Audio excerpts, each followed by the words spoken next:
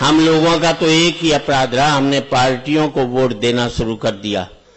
अगर हम अच्छे व्यक्ति को वोट देना शुरू कर देते तो हर एक पार्टी वाले अच्छे व्यक्ति को टिकट देना शुरू कर देते।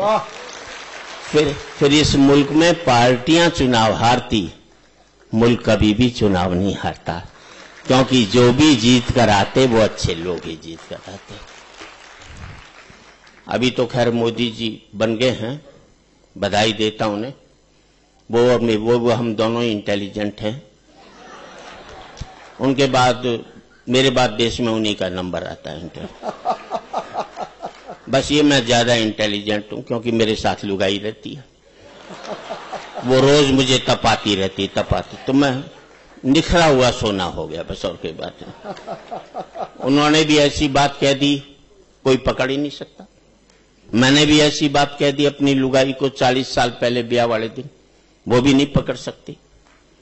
भाई ने कह दिया अच्छे दिन आने वाले।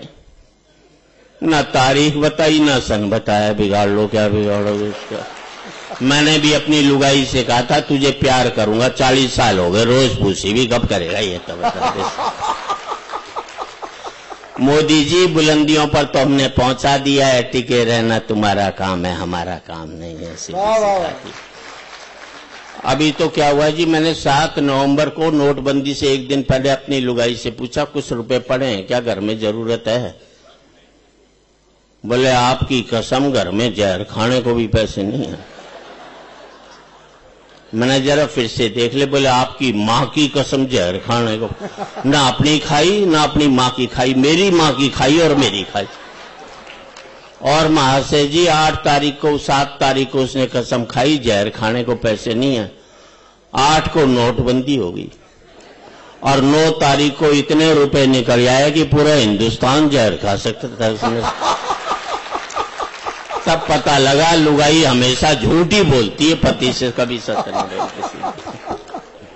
मैं तो थोड़ी बहुत टिप्स ही दे सकता हूँ ज़िंदगी में। जी जी क्योंकि हमारे मुल्क में सत्ता बदलती है व्यवस्था नहीं बदलती चेहरे बदलते हैं चरित्र नहीं बदलता मुखौटे बदलते हैं मन नहीं बदलता।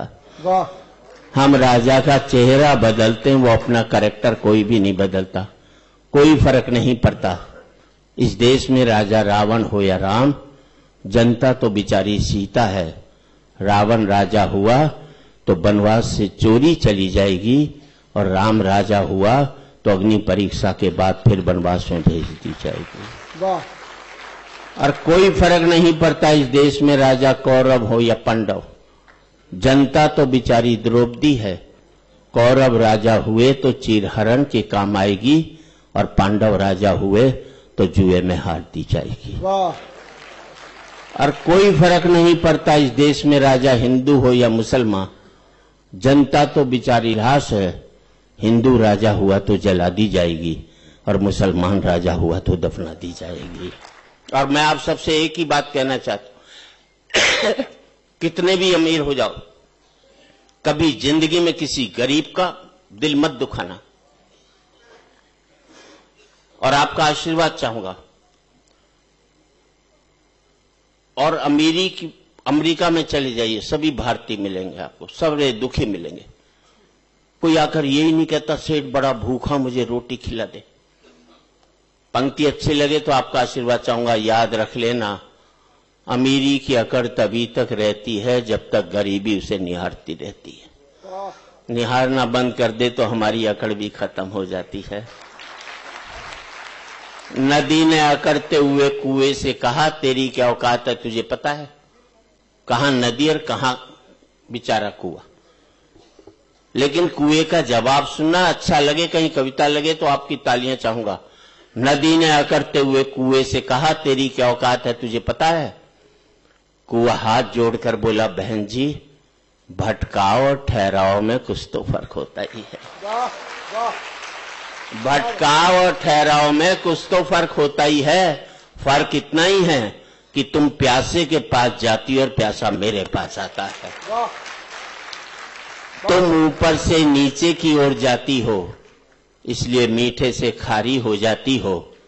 मैं नीचे से ऊपर की ओर आता हूँ इसलिए मीठा का मीठा ही रहता हूँ। अपने लेवल से ऊपर उठोगे तो मीठे हो जाओगे अपने लेवल से नीचे गिरोगे तो खारे होते हुए चले जाओगे साहब। और व्यापार हो या कोई भी हो साहब व्यापार में उड़ने की कोशिश नहीं करनी चाहिए बढ़ने की कोशिश करनी चाहिए। और मैं एक बात बता दूँ कितने भी बढ़ लेना आप व्यापार में खूब तरक्की करना आप बस एक बात देखते रहना कि तुम्हारे पाँव ने ज़मीन तो नहीं छोड़ी है। वाह वाह वाह वाह क्या बात है। आपके पाँव ने ज़मीन नहीं छोड़ी तो बढ़ पाए। अगर पाँव में उड़ने की कोशिश करते तो कभी इस तरक्की को आप हासिल नहीं कर पाते। तब कहना चाहता हूँ ऊंचाई नहीं होती है पतंग की। बात अच्छी लगे तो समर्थन करना। ऊंचाई नहीं होती है पतंग की ऊंचाई होती है पेड़ की कि जितना बड़ा होता है उतना ही धरती में गड़ा होता है। वाह वाह। महाशय जी आपकी डेप्थ आपकी हाइट है। क्या बात है वाह। अगर आप में डेप्थ नहीं है तो आपकी ऊंचाई का कोई मतलब नहीं। ऊंचाई नहीं होती है पतंग की ऊंचाई होती है पेड़ की कि जितना बड़ा होता है उतना ही धरती में गड़ा होता है जबकि पतंग की ऊंचाई टिकी रहती है डोर पे जो कि होती है किसी और के हाथों में। जो जब चाहे उसे ऊँचा उठा दे जब चाहे किसी से लड़ा दे जब चाहे धरती पर गिरा दे अब तुम ही सोच लो तुम पतंग की ऊंचाई पाना चाहते हो या पेड़ की? क्योंकि पतंग की ऊंचाई पेड़ की ऊंचाई पाने के लिए धरती में गढ़ना होता है और पतंग की ऊंचाई पाने के लिए किसी के हाथ में डोर देना आपकी मजबूरी होती है साहब। वाह वाह। और समय की सीमा है इसलिए चार पंक्ति देना चाहता हूँ। इस देश की राजनीति कुछ क्या है लेकिन हम क्या सोचे? मुल्क हमारा भी है। तब कहना चाहता हूँ कि आज एक बार कहें आखिरी बार कहें क्या पता तुम न रहो क्या पता हम न रहें। और जो ताली बची अब इस्तेमाल करना आज एक बार कहें आखिरी बार कहें क्या पता तुम न रहो क्या पता हम न रहें। मंदिरों मस्जिद की या किसी इमारत की माटी तो लगी उसमें भाई मेरे भारत की। माटी तो लगी उसमें भाई मेरे भारत की। लहू था हिंदू का अल्लाह शर्मिंदा रहा। मरा मुसलमान तो राम कब ज़िंदा रहा? बिखरे बिखरे हैं सभी। आओ एक घर में रहें। क्या पता तुमने रहो। क्या पता